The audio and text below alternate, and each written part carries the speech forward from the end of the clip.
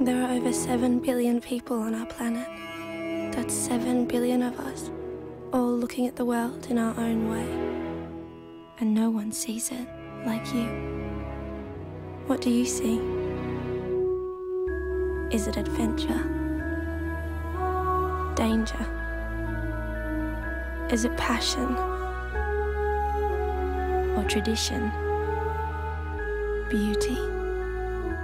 A new beginning? Ending?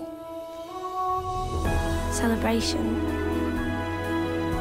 Is it trust? Fame?